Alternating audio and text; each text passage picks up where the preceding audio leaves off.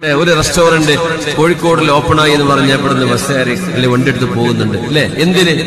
അവിടുത്തെ കറി കഴിക്കാൻ അവിടുത്തെ ഒരു പ്രത്യേക ഡിഷ് കഴിക്കാൻ. നിങ്ങളിങ്ങനെ ആഗ്രഹിക്കുന്നത് മുഴുവൻ തിന്നാണോ? ഒരു മനുഷ്യൻ ചെയ്യുന്ന ഏറ്റവും വലിയ ധൂർത്ത്.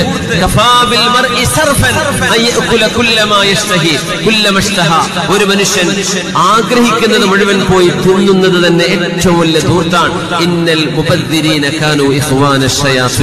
അവർ പിശാചിന്റെ കൂട്ടുകാരാണെന്ന് ഖുർആൻ പറയുന്നത് ആഗ്രഹിക്കണം മുഴുവൻ പോയി വിശന്നാ പോയി ഭക്ഷണം കഴിക്കണം. ഇതല്ല വിശന്നിട്ടല്ല. എവിടെയെങ്കിലും ഒരു പുതിയ റെസ്റ്റോറന്റ് ഓപ്പൺ ആയത് ഫുഡ് ബ്ലോഗർമാരെ ഫോളോ ചെയ്യാം. അപ്പൊ അവരുടെ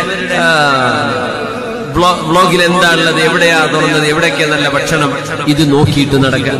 അതൊരു ഹരം അതിനുവേണ്ടി പെട്രോൾ ഒഴിച്ച് ഡീസൽ അടിച്ച് ഓടുകയാണ്. സമയവും അധ്വാനവും പൈസയും ഒക്കെ. എന്തിന്.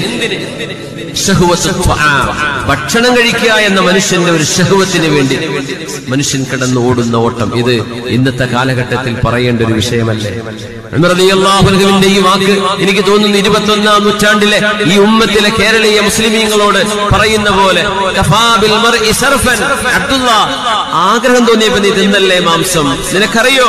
ഈ തോന്നുന്നത് മുഴുവൻ പോയി തിന്നൽ ഒരു മനുഷ്യൻ ചെയ്യുന്ന ഏറ്റവും വലിയ ധൂർത്താണ് നിനക്കറിയുമോ മോനെ?